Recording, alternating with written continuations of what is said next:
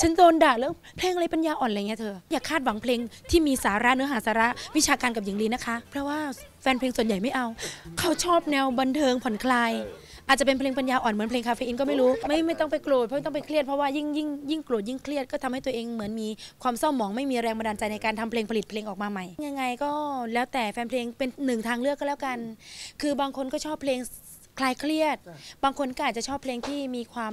เป็นสาระเยอะอย่างเงี้ยก็มีหลากหลายศิลปินที่เลือกสรรได้ ก็ฝากหญิงลีเป็นส่วนหนึ่งของตัวเลือกเพลงสนุกกันแล้วกันนะคะ